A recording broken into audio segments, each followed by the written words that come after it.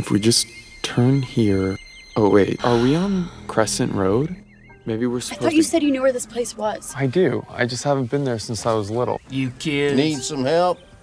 You lost? Maybe we should go back, you guys. the hell? My uncle was a toy maker. He used to have all this crazy stuff he was working on lying around. You like that, don't you? I'm supposed to be having sex with my girlfriend, but now she's dead.